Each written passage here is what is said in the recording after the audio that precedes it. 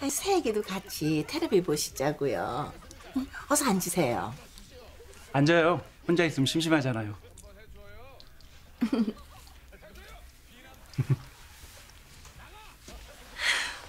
아참, 그거 좀 보여드리세요. 아 맞다. 이거 봐요. 우리 아드님 병원 인테리어 설계도예요. 여긴 진료실이고 여긴 상담실이고 여긴 수술실이에요. 저기 가지고 올라가서 천천히 하시고 과일 드세요.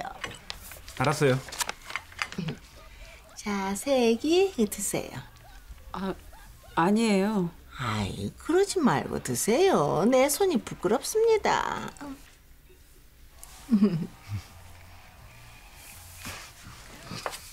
엄마도 드세요. 아이고, 그저 그냥 우리 세 식구 간만에 이렇게 앉았으니까 얼마나 좋은지 모르겠습니다. 그저 나는 뭐 더 바랄 거 없습니다. 우리 아드님 개업해서 번창하시고 우리 며느님 손주 낳으셔서 그냥 이렇게 어선도선 우리 식구